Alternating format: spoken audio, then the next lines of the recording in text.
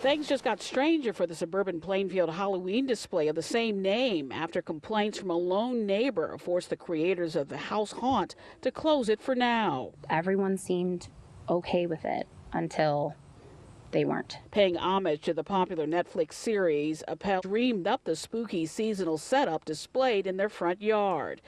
It replicates a scene from the show and features a lifelike mannequin dressed as the character Max Mayfield appearing to hover in midair. It was just really cool. We saw it on TikTok. We're like, we just thought like it was so cool that you couldn't see like any wires or anything. The family says the video of the display they posted on TikTok not only got more than 14 million views, with everyone wondering what's keeping Max afloat, but also some unwanted attention from one neighbor who at first they said was okay with their display when they asked for permission to put it up.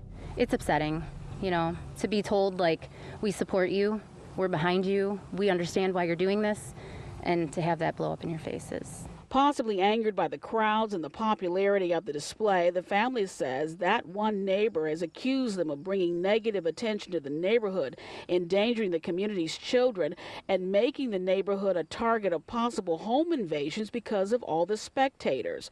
Other people who live here don't agree. It's just all families coming out to see such an amazing setup. The Stranger Things Halloween display remains shuttered for now.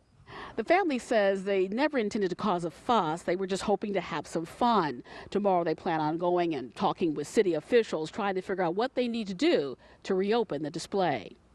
Reporting from Plainfield, Evelyn Holmes, ABC 7 Eyewitness News.